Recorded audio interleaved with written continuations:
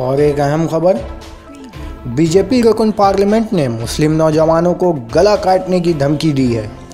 धमकी देने के सबब रुकन पार्लियामेंट के खिलाफ पुलिस में शिकायत की गई है। ये शिकायत कांग्रेस अकलियती सेल के ज़िला सदर साजिद खान ने की है। बीजेपी के रकुन पार्लियामेंट सोइम बाबा राव ने मुस्लिम नौजवान का गला काटने की धमकी दी है। इनका इल्ज़ाम है कि मुस्लिम नौजवान आदिवासी खातून का इस्तेसाल कर रहे हैं। स्वयं बाबा तेलंगाना के आदिलाबाद के रकुन पार्लियामेंट है। धमकी देने के सबब रकुन पार्लियामेंट के खिलाफ पुलिस में शिकायत की गई है। ये शिकायत कांग्रेस अकलीती सेल के ज़िला सदर साजिद खान ने की है। साजिद खान ने स्वयं बाबा को अपना बयान वापस लेने के लिए कहा है। उन्होंने कहा कि रकुन पार्लियामेंट होने के बावजूद अकलीतों के खिलाफ गलत इल्ज़ाम लगा रहे हैं।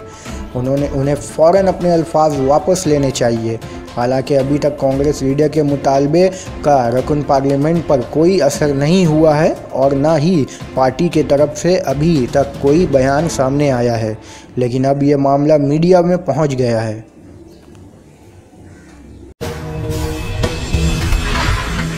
मुसलमान के बच्चे को मैं एक बोलना चाह रहा हूँ। हमारे आदिवासी के लड़के के पीछे गए तो तुम्हारा स्वयं बाबा सिर करके फेंक देता हूँ। माइनॉरिटी भाई लोगों को एक ही मैं विज्ञप्ति कर रहा हूँ, हमारे लड़कियों के पीछे मत गिरो। हम तुम्हारे पीछे गिरे तो मुश्किल होएगा। ये बात